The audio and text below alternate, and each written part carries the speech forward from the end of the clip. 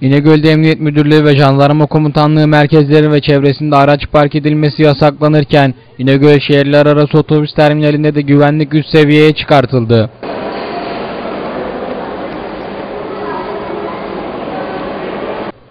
Burulaş, Bursa şehirler arası otobüs terminaline konulan X-ray cihazından İnegöl'e de getirildi.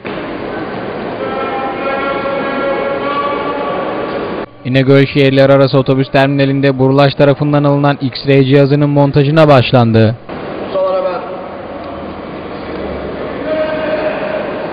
Kısa zaman içerisinde İnegöl şehirler arası otobüs terminaline giren ve çıkan yolcular ile yolcuların bavulları güvenlik gereği cihazdan geçirilecek.